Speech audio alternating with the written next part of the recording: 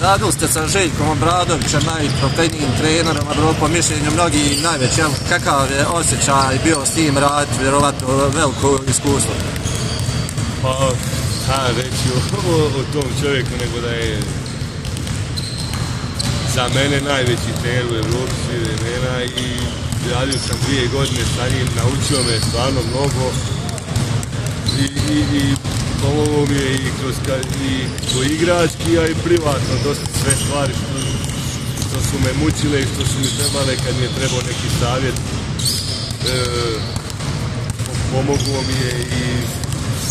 zato sam mu iznimno zahvalan, a opet da ponovim, gdje god on dođe u koji god klub vidi se odmah rezultat se prave i nema tu šta puno više da se